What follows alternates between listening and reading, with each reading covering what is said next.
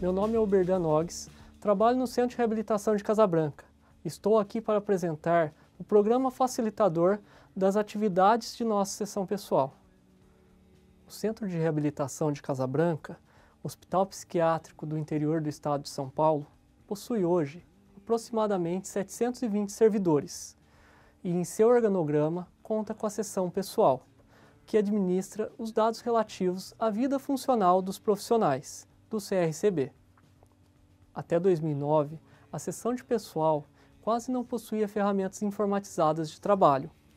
Poucos eram os computadores, grande parte do trabalho ainda era processado através de máquinas de escrever ou manualmente, o que, até mesmo para tarefas simples, como buscar e encontrar determinados documentos, despendia um grande tempo de trabalho. Tempo este que poderia ser voltado a atividades mais complexas e exigentes para uma equipe reduzida de gestão de pessoas.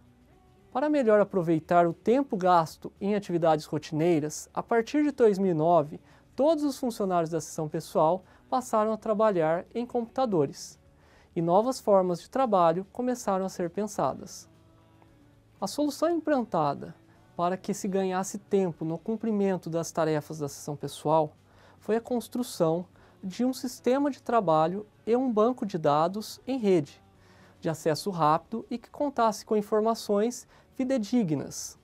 Para isso, em alguns momentos possíveis, principalmente em finais de semana e férias, foi desenvolvido o sistema de pessoal do Centro de Reabilitação de Casabranca, que busca agregar várias funções diárias em seu desenvolvimento.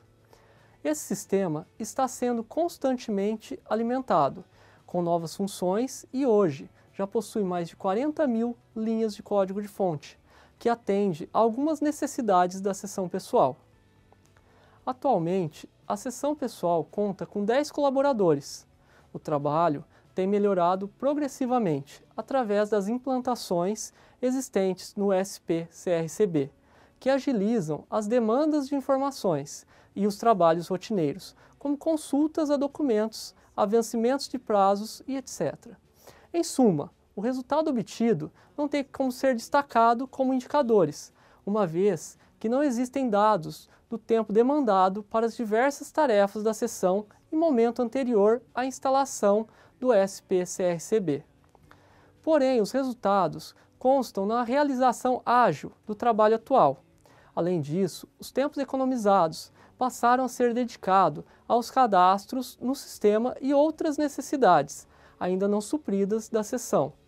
Uma das tarefas atuais, por exemplo, é a digitalização das fichas funcionais em papel e o fim das impressões dessas fichas, salvo em caso de aposentadoria ou de outra necessidade específica.